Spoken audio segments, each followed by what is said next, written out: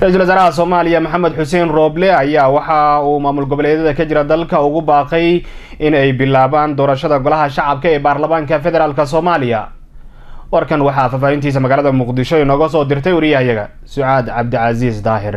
Ra'iisul wasaaraha xukuumadda soomaaliya maxamed xuseen rooble ayaa u hambaliyeeyay xildhibaanada golaha shacabka ee gobollada waqooyi kuwaasi oo maanta lagu doortay magaalada muqdisho ra'iisul wasaare rooble ayaa sheegay in uu ku faraxsan yahay in doorashada golaha shacabka si rasmi ah u bilaabato wuxuuna dowlad goboleedyada ka codsaday in ay deg deg u bilaabaan xildhibaanada golaha shacabka. Qoraalka ra'iisul wasaaraha ayaa u dhignaa sida tan waxaan ku faraxsanahay in doorashadii xildhibaanada golaha shacabku ay maanta si rasmi ah noogu bilaabatay.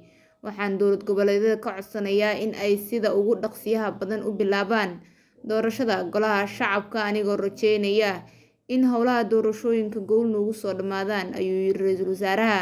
Dowlad goboleedyada dalka ayaa waxaa la filayaa inay dhowaan bilaabaan.